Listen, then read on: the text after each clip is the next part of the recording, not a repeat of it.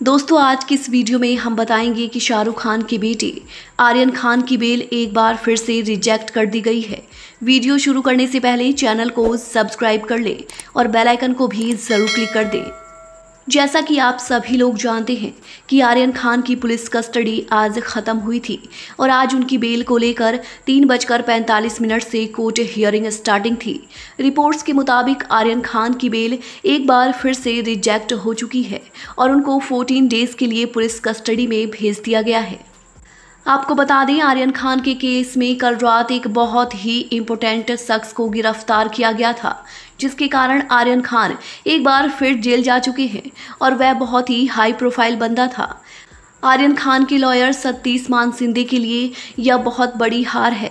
इस court hearing पर शाहरुख खान भी मौजूद थे और शाहरुख खान और आर्यन खान को एक दूसरे के गले मिलते हुए और रोते हुए भी देखा गया।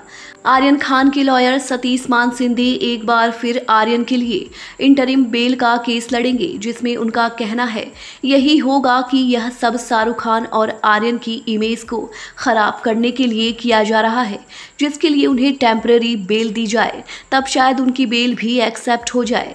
आपको आर्यन खान की बेल की रिएक्शन के बारे में जानकर कैसा लगा? हमें कमेंट में बताना बिल्कुल भी ना भूलिएगा।